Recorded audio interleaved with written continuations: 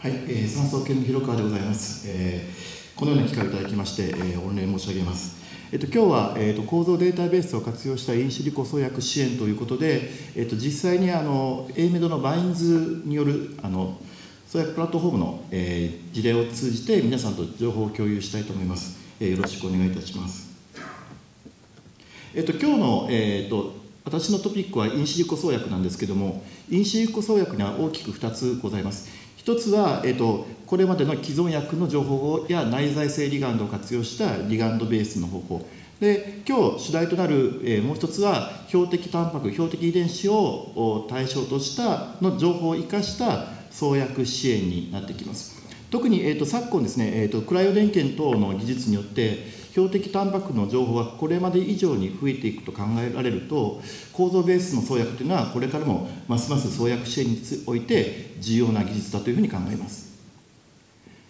ただしですね、えーと、構造情報を利用する場合、えーと、必ずしもその構造からそのまま創薬につながるということは、えー、ございません。つまり、えーと、目的とするその構造の情報ですね、えー、 biological な state じゃない形での構造情報が時々あるからです。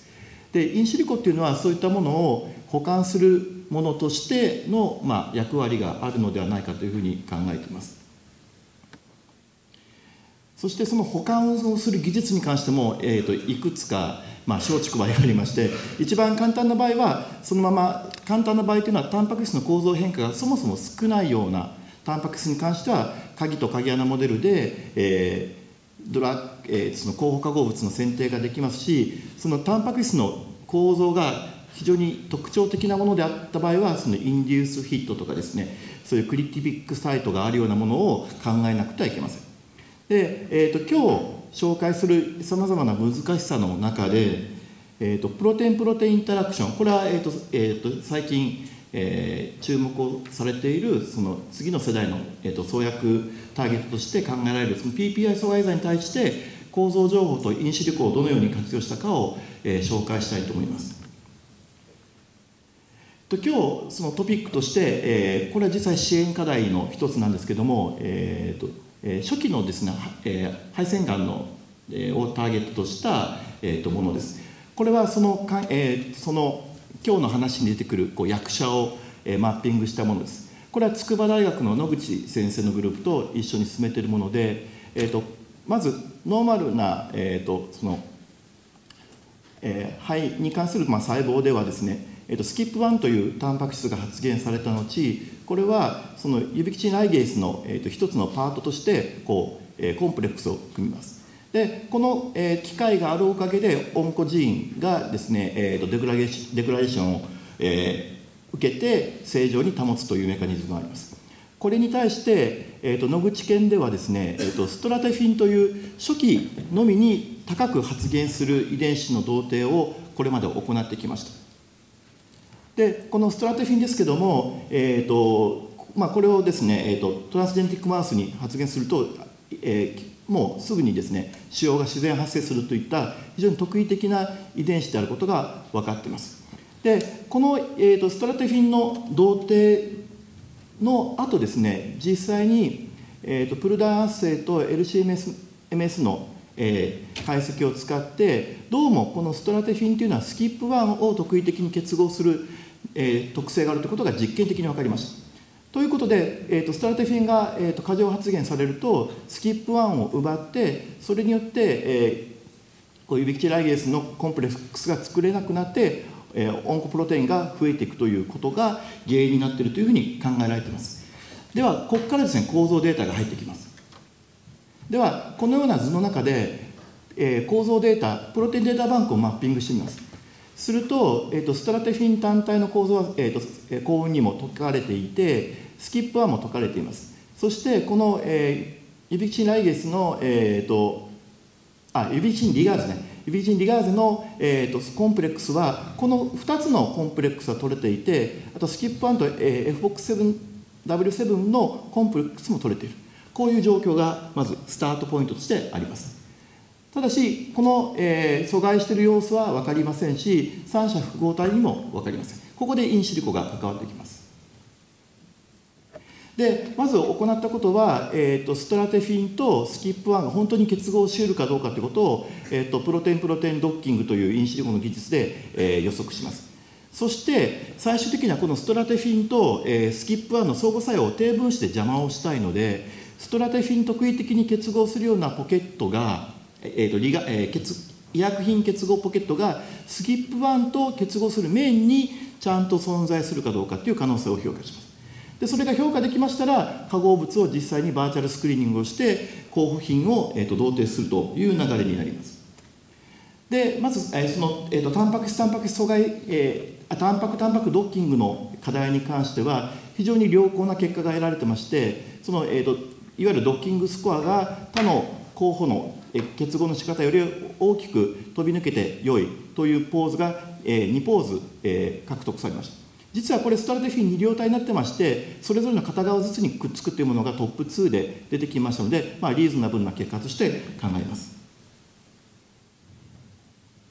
それでここの一つ問題が解決されました、まあ、インシリコモデルですけども。そうすると今度はこの三者複合体の話です。これはそれほど高度なインシリコ技術は使っておりません、えーと、PDB の検索技術です。で、えーと、先ほど紹介しましたように、えーと完全な三者複合体はまだ解かれてませんで部分的にこの二両体の部分がまず解かれている。で一方でスキップ1と FBOXW7 は解かれている。じゃあスキップ1をのりしろにして、まあ、複合体を作りましょう、まあ、こんなのはまあ簡単にできるわけですね。それで、えーと、この、えー、指キチンリガーズのコンプレックスができます。そして一方で我々が作った、えーと、ストラテフィンとスキップ1が阻害している状態をスキップ1を使ってスーパーインポーズします。そしてこれが本来のえーと、指キチンギガーゼとコンプレックスを邪魔しなくてはメカニズムが成り立ちませんのでそれを確認するとやっぱりここで衝突が起きる。つまりストラテフィンとスキップ1が相互作用するとこのコンプレックスの邪魔をするということが根拠として分かります。実はここ大事なことで実は三者複合体プラスストラテフィンがくっつくこともありえるのでちゃんと阻害をするということの確認がここで大事になります。ということでメカニズムがだいぶクリアになってきます。では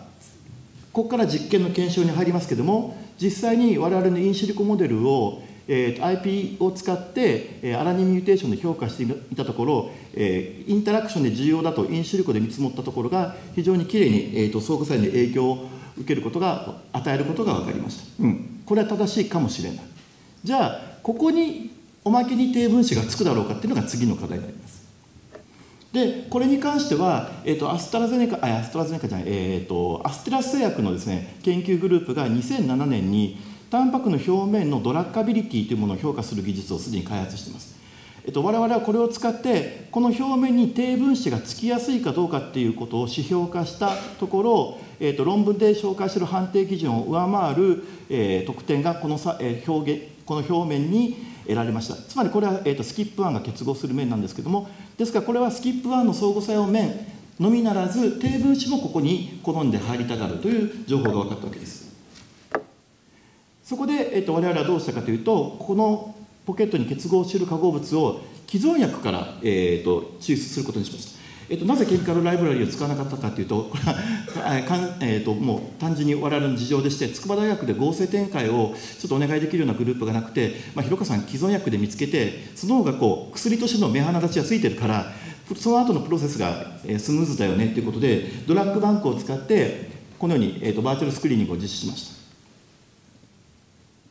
で、えーと、こうやって、まあえーと既存薬からスクリーニングをいたしまして幸運なことにですね、えーと、その中の46品目だけ購入したところ4品目でヒットがありました。えーアプレえーと、メルクのアプレピタンと、えー、アストラゼネカのチカグレロールあとエゼミチムとクロレヘキシンですこれはですね、えーと、免疫進行を調べると4種とも、えーと、活性が濃度依存的に見られましたで次にですね、えー、とヌードマウスを使って使用の抑制効果を調べたんですけどもここではちょっと運命が分かれましてえーと、アプレピタントとチカグレロールは非常にきれいにいつまでたっても腫瘍が出てこないという素晴らしい結果が出てきたんですけども、えーと、クロレヘキシンと、えー、エゼメチブはですねこうだんだん、えー、効果が弱まってくることが分かりました。でインシリコのいいところはですね、まあ、構造データのいいところはその根拠を理解するきっかけになるものでしてアプレピタントとチカグレロールはポケットをきちんと押さえてるんですけどもエゼミチブやクロレキチンはポケットの押さえ方の爪が甘いんですね。まだ、空間が残ってる、まあ、これを、えーと、我々はその、えーとえ、ヌードマウスのあの使用抑制の結果と関係づけられるのではないかというふうに考えています。でこのアプレピタントと地下グレロール構造式は結構違うんですけどもポケットに結合しているドッキングモデルを見るとちゃんとファルマコアがありまして浸水器が集中している部分と疎水器が集中している部分があってこれは両方の化合物が、えー、共有しているファルマコアです。で地下グレロールは実は高血小板薬でターゲットは P2Y12 を使っています。でアプレピタントは生徒剤で NK1B を使っています。ですから、えーと、これを見たときに、まあえーと、まず地下グレロールの、えー、ターゲットである P2Y12 に関しては幸いなことに、えーと、近年 X 線が取れていますのでドスキングをしてみました。すると,、えー、とこれは、えー、と P2Y12 の X 線構造に、えー、地下グレロールをドッキングしたものでこれは我々のストラタフィンに対する地下グレロールの結合モデルです。するとですね、えー、と驚くほどですねここアルギニン2つなんですけどここはリジンがでバリン・ロイシンここはこういう疎水性ネットワークがあって本当にリポジショニングが起きてるわけですね、まあ、標的に対するリポジショニングが起きていてこれはまあ、えっと、地下グレロールが、えっと、そもそもつくような作用メカニズムがストラテフィンにもこう適用できているというふうに考えます。で、えー、地下グレロールは、えーと高えー、血小板や、えー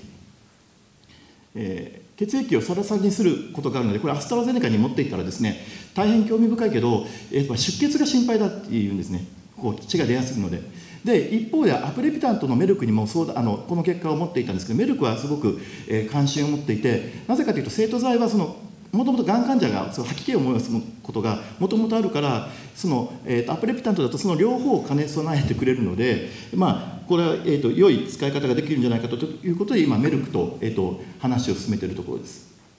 で、えっと、これまでの仕事を考えると実はこれはまあ最近のネイチャー、えー、レビューのドラッグディスカバリーで、えー、取り上げられたゲノムに関するドラッカビリティの評価なんですけども、えー、とそのも、えー、上司薬のターゲットとなっている T クリニックプロテインが3%で化合物がくっつくことが分かってるけども作用メカニズムやあまりその辺が分かってない。T、えー、ケミストリープロテイン7%でバイオロジカルにミーニングな、えーと、化合物あタンパクであることが分かってるけども低分子で制御できるのかとかその PPI の関係が分からないっていうのが55%でそれ以外がダークゲノムというふうに言われてます。で今回の仕事っていうのは実はストラテフィンはもちろん、えーと、既存薬はありませんので、えー、ただしマーカー遺伝子として重要であったといういわゆるこのカテゴリーに存在していたストラテフィンを構造データとインシリコでそのターゲットケミストリープロテインに格上げをすることができたというふうに考えております。ですから構造データはやはり非常に重要でそれをインシリコで、えーと、合わせてですね加速化していくことが非常に重要だというふうに考えます。